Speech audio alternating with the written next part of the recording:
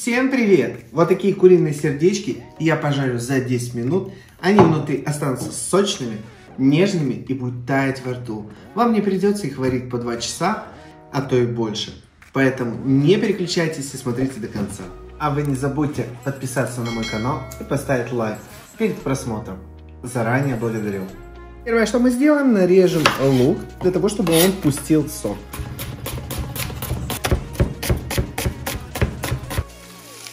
Хорошенечко его пожмем, так, чтобы аж выделился сок. А, какой ядреный, свежий. Ух! Куриные сердечки имеют вот такие вот трубки, которые торчат из него. Нужно их убрать. Отрезаем их и оставляем чистое. Вот максимум может жирочек вот этот остаться. На самом деле, кому-то кажется, что это нужно поиграться. Здесь ничего нет сложного. Там филировать ничего не надо. Просто поставил, отрезал и готово. Зачищенные сердечки смешиваем с луком.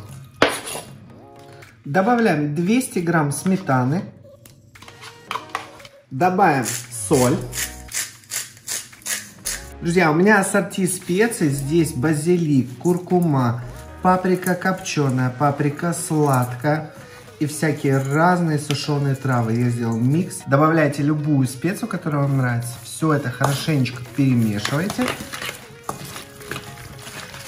Даем настояться один час. В противном случае, если вы будете прямо сразу делать, нам понадобится какой-то соус. Но чтобы не делать соус, здесь очень крутой маринад, поэтому дайте промариноваться куриным сердечком и будем готовить.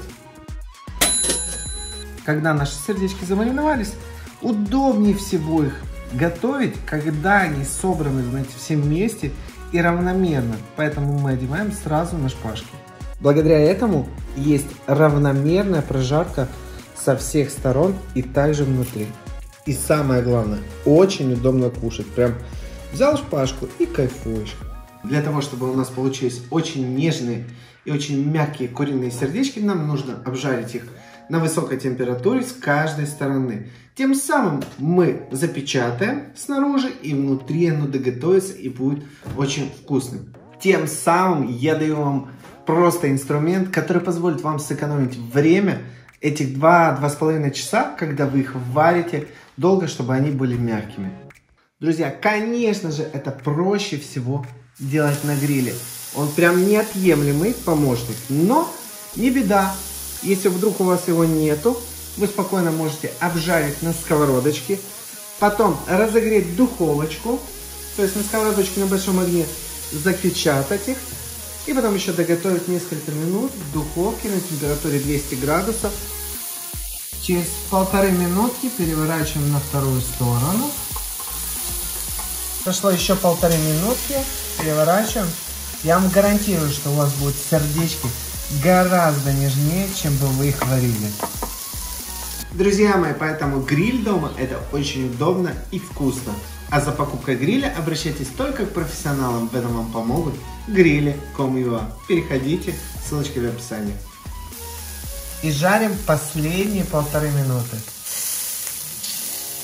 А если вдруг вы на сковородочке готовите, то это примерно 2 минуты на сковородке со всех сторон на большом огне на растительном масле, а потом в духовку на минут 5-7. В самом конце мы берем и смазываем соусом терияки, смешанный с медом. Да, кто попробует, будет просто в восторге. Оператор просто слюнкой захлебывается уже. Итак, с каждой стороны их 4 по полторы минуты, это 6 минут, и по две стороны с терияки с каждой стороны. Плюс еще 4 минуты. В общем, 10 минут и все готово. Украсить еще можно вот такими семенами жареного кунжута. Теперь я вам покажу, насколько они мягкие. Я их аж пальцем раздавил. Ну, то есть это уже говорит о том, что они действительно и готовые, и очень мягкие. Вы понимаете, да? Насколько это вкусно. Обязательно пробуйте готовить по моему рецепту. Вкусные сердечки я жду от вас комментарий, как у вас получилось. Если у вас вдруг будут вопросы какие-то, пишите в комментариях, я вам все отвечу. А на этой вкусной прекрасной ноте я хочу попрощаться и бежать лопать свои вкусные сердечки. Всем хорошего настроения. М -м -м. Пока.